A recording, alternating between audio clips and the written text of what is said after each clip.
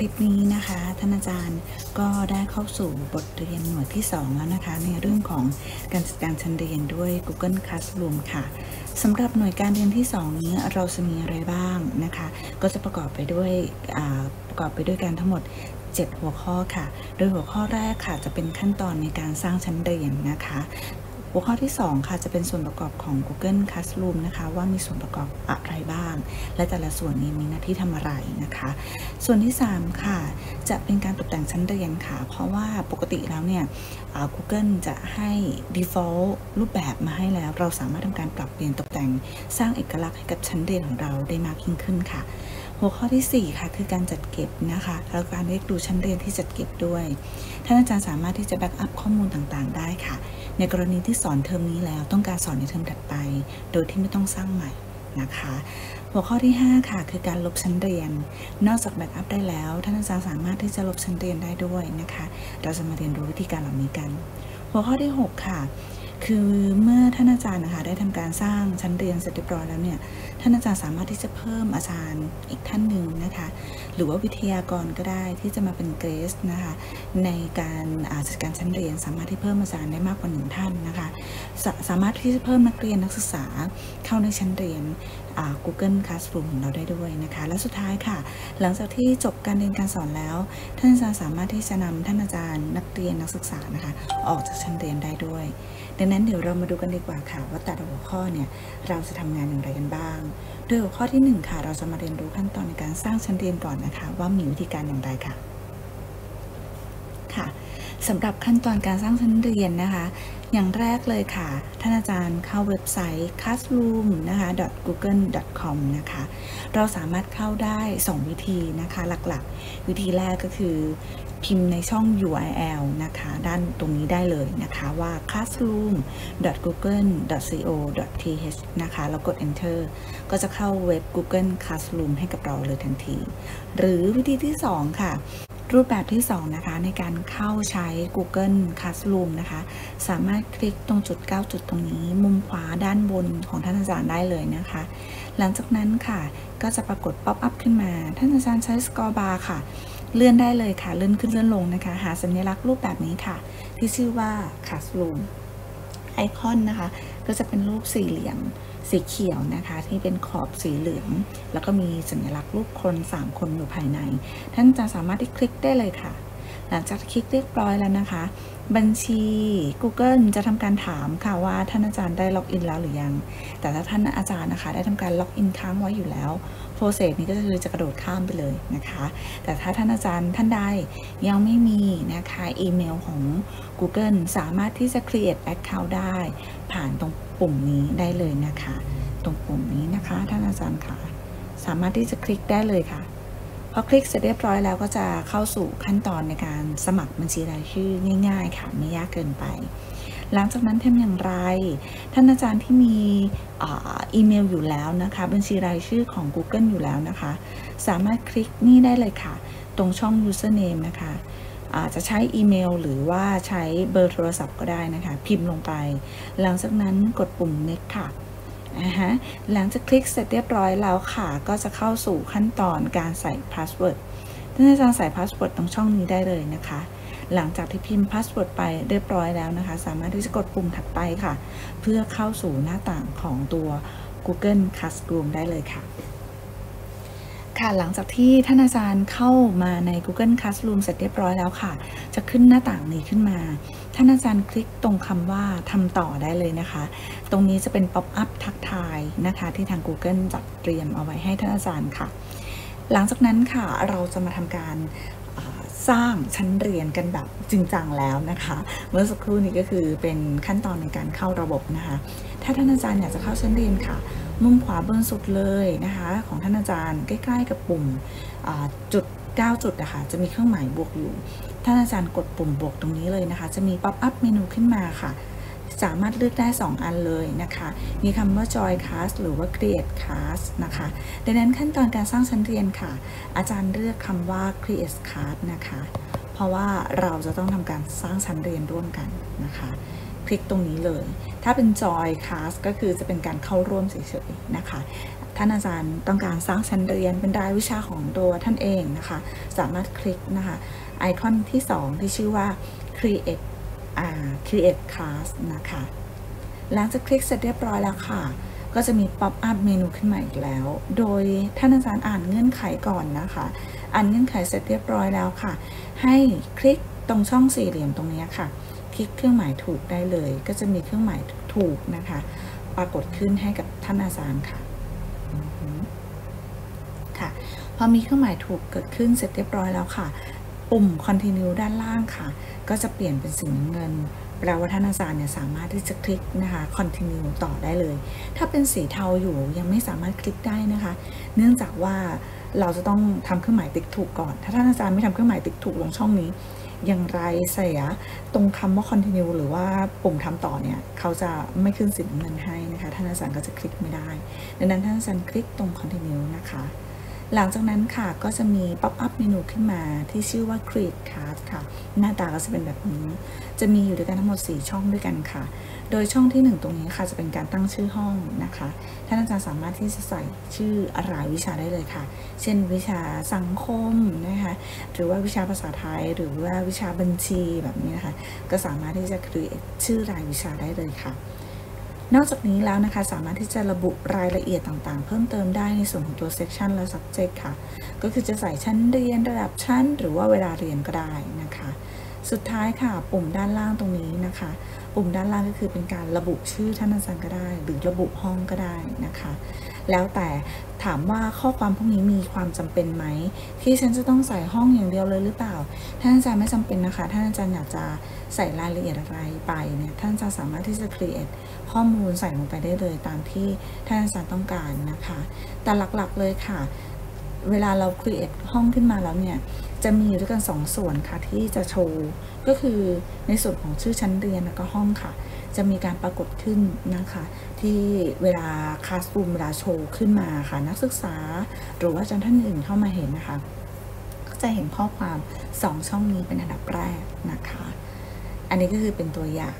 นะคะที่เบนได้ใส่ลงไปนะคะ ยกตัวอย่างค่ะ ชื่อชั้นรายวิชาก็คือระบุไปว่าเป็นการจัดการเรียนการสอนออนไลน์ด้วย Google Classroom นะคะ ส่วนห้องก็คือสมมตินะคะเบนก็ทำการสมมติว่าเป็นปี 3 ค่ะ สาขาวัตกรรมการศึกษานะคะ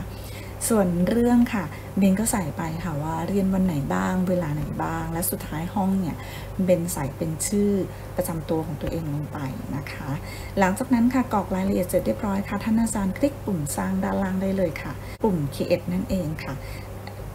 พอหลังจากที่อาจารย์คลิกเสร็จเรียบร้อยแล้วนะคะ สร้างชั้นเรียนเสร็จเรียบร้อยแล้วเนี่ย Google Classroom ค่ะ ก็จะทำการ pop up เมนูขึ้นมาว่า ท่านอาจารย์สามารถที่จะเชิญนักศึกษาหรือว่านักเรียนเข้าร่วมชั้นเรียนได้นะคะ โดยการกรอกรหัสดังกล่าว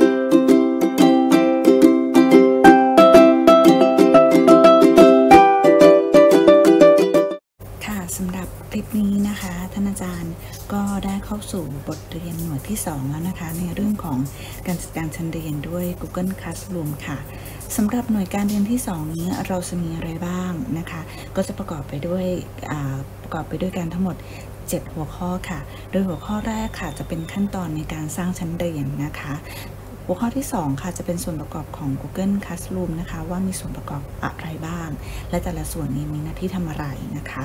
ส่วนที่ 3 ค่ะ จะเป็นการตกแต่งชั้นเรียนค่ะ เพราะว่าปกติแล้วเนี่ย Google จะให้ default รูปแบบมาให้แล้ว เราสามารถทำการปรับเปลี่ยนตกแต่งสร้างเอกลักษณ์ให้กับชั้นเรียนของเราได้มากยิ่งขึ้นค่ะหัวข้อที่ 4 ค่ะ คือการจัดเก็บนะคะแล้วการเรียกดูชั้นเรียนที่จัดเก็บด้วย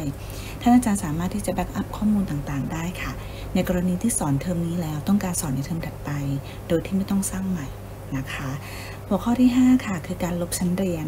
นอกจากแบ็กอัพได้แล้ว ท่านอาจารย์สามารถที่จะลบชั้นเรียนได้ด้วยนะคะ เราจะมาเรียนรู้วิธีการเหล่านี้กัน หัวข้อที่ 6 ค่ะ คือเมื่อท่านอาจารย์นะคะได้ทำการสร้างชั้นเรียนเสร็จเรียบร้อยแล้วเนี่ยท่านอาจารย์สามารถที่จะเพิ่มอาจารย์อีกท่านหนึ่งนะคะหรือว่าวิทยากรก็ได้ที่จะมาเป็นเกรสนะคะในการจัดการชั้นเรียน สามารถที่เพิ่มอาจารย์ได้มากกว่าหนึ่งท่านนะคะสสามารถที่จะเพิ่มนักเรียนนักศึกษาเข้าในชั้นเรียน Google Classroom ของเราได้ด้วยนะคะ และสุดท้ายค่ะ หลังจากที่จบการเรียนการสอนแล้ว ท่านอาจารย์สามารถที่จะนำท่านอาจารย์นักเรียนนักศึกษานะคะ ออกจากชั้นเรียนได้ด้วย ดังนั้นเดี๋ยวเรามาดูกันดีกว่าค่ะว่าแต่ละหัวข้อเนี่ยเราจะทำงานอย่างไรกันบ้าง โดยหัวข้อที่ 1 ค่ะ เราจะมาเรียนรู้ขั้นตอนในการสร้างชั้นเรียนก่อนนะคะ ว่ามีวิธีการอย่างไรค่ะ ค่ะ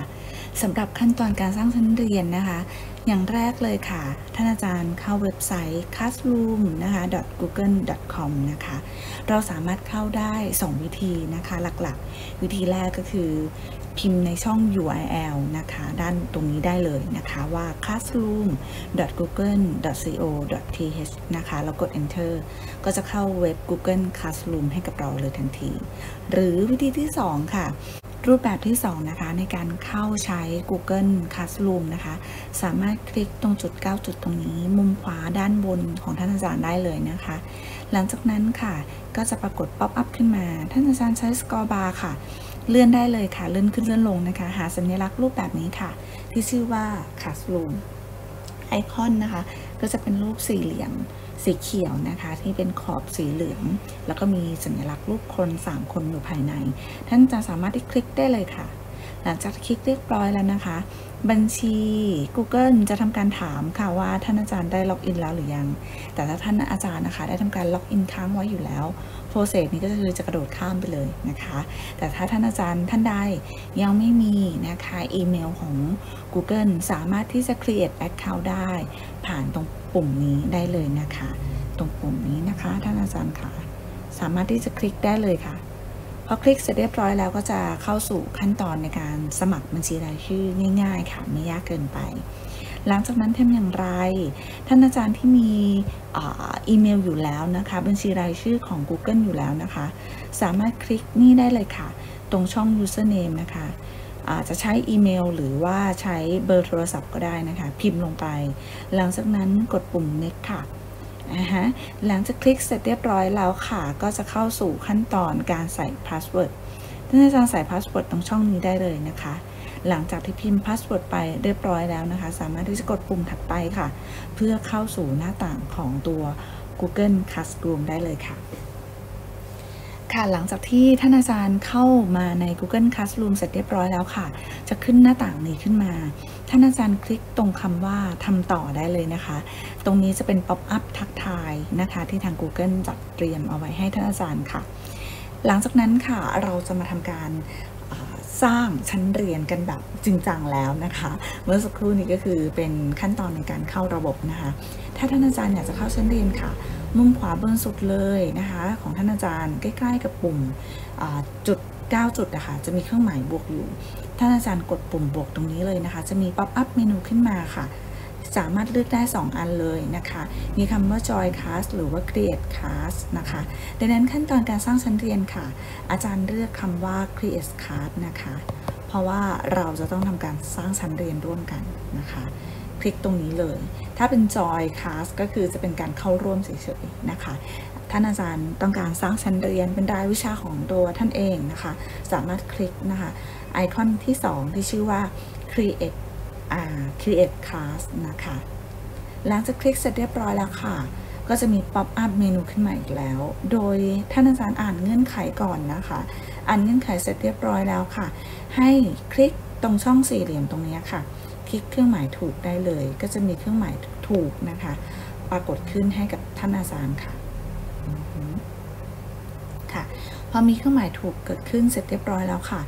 ปุ่ม continue ด้านล่างค่ะ ก็จะเปลี่ยนเป็นสีน้ำเงินแปลว่าท่านอาจารย์เนี่ยสามารถที่จะคลิกนะคะ continue ต่อได้เลย ถ้าเป็นสีเทาอยู่ยังไม่สามารถคลิกได้นะคะ เนื่องจากว่า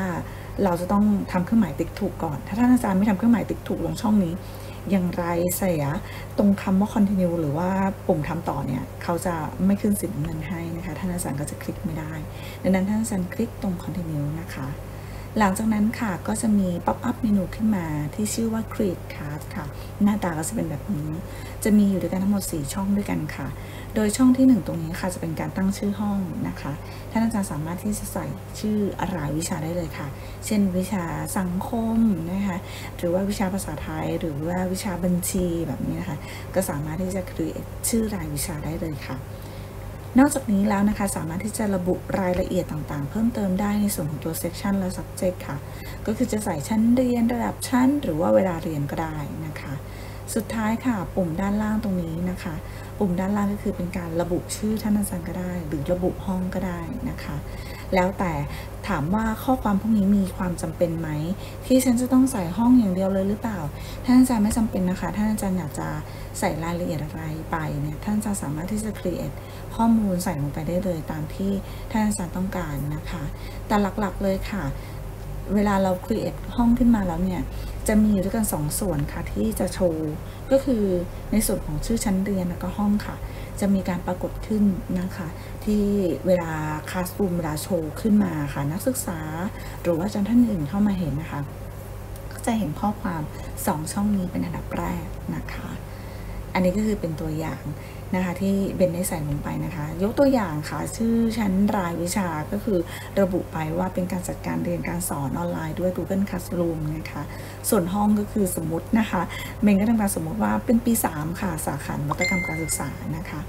ส่วนเรื่องค่ะเบนก็ใส่ไปค่ะว่าเรียนวันไหนบ้าง เวลาไหนบ้าง และสุดท้ายห้องเนี่ยเบนใส่เป็นชื่อประจำตัวของตัวเองลงไปนะคะ หลังจากนั้นค่ะกรอกรายละเอียดเสร็จเรียบร้อยค่ะท่านอาจารย์คลิกปุ่มสร้างด้านล่างได้เลยค่ะ ปุ่ม create นั่นเองค่ะพอหลังจากที่อาจารย์คลิกเสร็จเรียบร้อยแล้วนะคะ สร้างชั้นเรียนเสร็จเรียบร้อยแล้วเนี่ย Google Classroom ค่ะ ก็จะทำการ pop up เมนูขึ้นมาว่า ท่านอาจารย์สามารถที่จะเชิญนักศึกษาหรือว่านักเรียนเข้าร่วมชั้นเรียนได้นะคะ โดยการกรอกรหัสดังกล่าวแจ้งค่ะว่าถ้าท่านอาจารย์เห็นตามรูปเลยนะคะ ก็จะมีในส่วนสองส่วน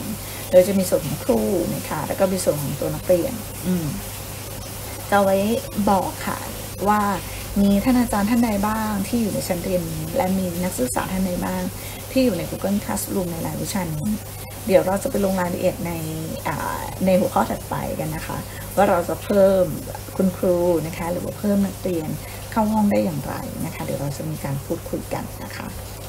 แท็บถัดมาดีกว่าค่ะ แท็บสุดท้ายแล้วแท็บคะแนน อันนี้โหสำคัญมากเลย ก็จะเป็นแหล่งรวบรวมเกณฑ์การให้คะแนนนะคะ ในรายวิชาของเรา ไม่ว่าจะเป็นรูบิกต่างๆนะคะในการให้คะแนนหรือว่าการตรวจคะแนนของนักศึกษานะคะก็จะอยู่ในส่วนนี้ เดี๋ยวเราจะมาคุยกันนะคะในส่วนของการให้คะแนน ซึ่งในการให้คะแนนเนี่ยเราจะไปพูดคุยกันในหนึ่งที่3นะคะว่าเราจะทำการจัดการการให้คะแนนเนี่ยได้อย่างไรนะคะ ค่ะหัวข้อถัดมาค่ะ ส่วนประกอบถัดมาเลย อ่า ส่วนประกอบที่ 2 นะคะแต่ที่เบนได้พูดเอาไว้คือเมนเมนูหลักนะคะ หรือว่าตัวเมนูหลักนั่นเอง ซึ่งเราสามารถที่จะกดตรงนี้นะคะ ตรงขีด 3 ขีดตรงนี้ค่ะ คลิกไปแล้วเนี่ยจะมีป๊อปอัพเมนูขึ้นมา ตัวนี้ถือว่าเป็นเมนูหลักเลยนะคะ เป็นหัวใจหลักสำคัญเลยนะคะ ในการควบคุมนะคะ Google Classroom ทั้งหมดเลย ไม่ใช่แค่รายวิชานะคะ ทั้งหมดเลยค่ะ ทั้งหมดเลยมีอะไรบ้าง เช่น คลาสรูมของอาจารย์ค่ะอันแรกเลยนะคะคลาสรูมของอาจารย์ถ้าท่านอาจารย์คลิกแล้วเนี่ยมันจะปรากฏตัวหน้าต่างนี้ขึ้นมาค่ะ ก็คือท่านอาจารย์ create ห้องเอาไว้นะคะหรือว่า create รายวิชาไว้ทั้งหมดกี่กี่รายวิชาก็จะปรากฏขึ้นทั้งหมดเลยนะคะก็สามารถที่จะทำการจัดการ ท่านอาจารย์สามารถที่จะเข้าห้องนี้ออกห้องโน้นได้นะคะเพราะว่าท่านอาจารย์หนึ่งท่านนะคะบางทีก็ไม่ได้สอนแค่วิชาเดียวใช่ไหมคะบางท่านสอนถึง 5 วิชา บางท่านสอนถึงวิชาเดียวก็จริงแต่มีหลายห้องนะคะ ก็สามารถที่จะทำการจัดการห้องเรียนนะคะ โดยการเข้าเมนเมนูหลักตรงนี้ เข้าไปยังรายวิชาอื่นๆ หรือว่าห้องอื่นๆ ของท่านอาจารย์ได้ค่ะเมนเมนูหลักถัดมานะคะ ที่ชื่อว่า calendar นะคะ หรือว่าตัวปฏิทินนั่นเองท่านอาจารย์สามารถที่จะดูตารางเรียนนะคะ หรือว่ากำหนดนะคะกำหนดการในรายวิชาทั้งหมดค่ะว่าอย่างเช่นกำหนดส่งวันไหน นัดพิเศษวันไหนนะคะ หรือว่ามีการเรียนออนไลน์กันวันไหน ท่านอาจารย์สามารถที่จะสร้างปฏิทินนะคะ นัดหมายกับนักศึกษาได้เลยจากตัว calendar นี้ค่ะค่ะ เนี่ยค่ะ ถ้าท่านอาจารย์กดกดปุ่มตรงนี้นะคะ ตรงชั้นเรียนทั้งหมดค่ะ ตรงชั้นเรียนทั้งหมดเลย ก็จะปรากฏขึ้นนะคะ ตัว pop up ตัวนี้ขึ้นมานะคะ ก็คือจะเป็นรายวิชาทั้งหมดเลยที่ท่านอาจารย์มีก็สามารถที่จะคลิกสลับไปสลับมาในการกำหนดปฏิทินได้ด้วยนะคะ แต่ละรายวิชาก็สามารถที่จะดูแยกได้นะคะ ว่ารายวิชาไหนมีกำหนดการของวันไหนบ้างนะคะอันนี้คือในส่วนของตัวปฏิทินค่ะถ้าแท็บถัดมานะคะของตัวเมนเมนูหลักนะคะ to review นะคะหรือว่าการรอตรวจนั่นเองสำหรับปุ่มนี้ค่ะก็จะเป็นแหล่งรวบรวมนะคะการส่งงานของนักศึกษา ว่านักศึกษาท่านอาจารย์นะคะ ส่งงานอะไรมาบ้างแล้ว ถ้าท่านอาจารย์สังเกตนะคะ จะมีในส่วนนี้นะคะ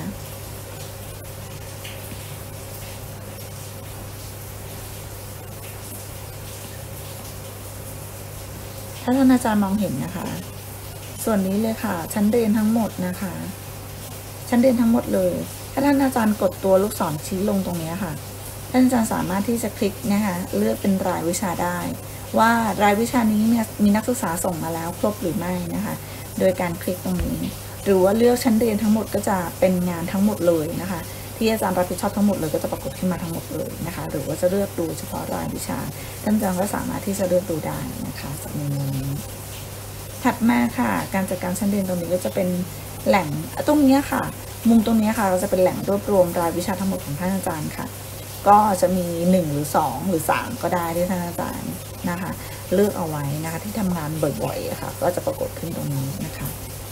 ถัดมาค่ะ to do to do หรือสิ่งที่ต้องทำนะคะ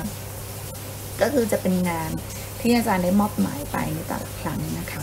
โดยท่านอาจารย์สามารถที่จะเลือกชั้นเรียนทั้งหมดนะคะ ก็จะเห็นทั้งหมดเลย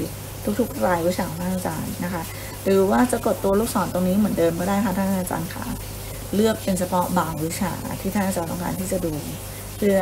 เพื่อเช็คทีละรายวิชาเลยนะคะ ว่ามอบหมายไปแล้วครบหรือไม่นะคะท่านจะสามารถที่จะเช็คได้จากตรงนี้นะคะ ถัดมาค่ะเนี่ยแหละค่ะชั้นเรียนที่เราจัดเก็บนะคะ หลังจากสิ้นสุดการจัดการเรียนการสอนแล้วนะคะ จบภาคการศึกษาแล้วนะคะ เราสามารถที่จะเก็บเนื้อหาตรงนี้เข้าชั้นเรียนได้แบ็กอัพได้นะคะ ไม่ว่าจะเป็นงานโพสหรือว่าอ่าหรือว่าเป็นงานเป็นการไม่ว่าจะเป็นงานนะคะ หรือว่าเป็นการโพสในหน้าสตรีมต่างๆ ของชั้นเรียนท่านอาจารย์ก็สามารถที่จะเก็บได้ด้วยนะคะ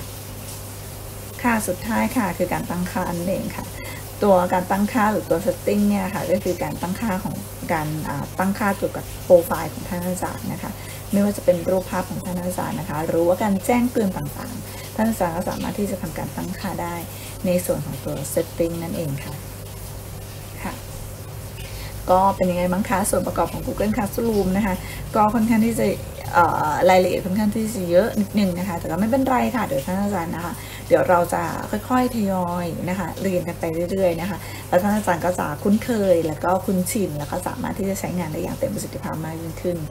ดังนั้นในหน้านี้นะคะ เดี๋ยวเป็นขอสรุปส่วนประกอบของ Google Classroom อีกรอบหนึ่งแล้วกันนะคะ เป็นการทวนนะคะ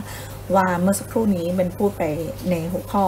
ของส่วนประกอบเนี่ยประกอบไปด้วยอะไรบ้างนะคะอย่างแรกเลยค่ะ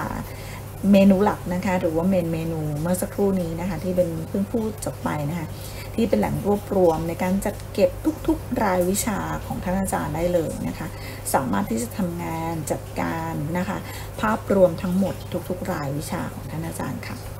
ต่อมาค่ะตัว stream นะคะตัว stream หรือตัวหน้าจอตัวนี้ เวลาเราเข้า Classroom ปุ๊บอะค่ะ หน้าต่างอันนี้จะเป็นหน้าต่างสำหรับการประกาศนะคะ ประชาสัมพันธ์ต่างๆ ในชั้นเรียนให้กับนักศึกษาท่านอาจารย์ได้ทราบ แล้วก็สามารถที่จะพูดคุยสอบถามนะคะ ผ่านตัว stream ได้เลยนะคะ ต่อมาค่ะก็คืองานของชั้นเรียนนะคะ หรือว่า class work ก็คือจะเป็น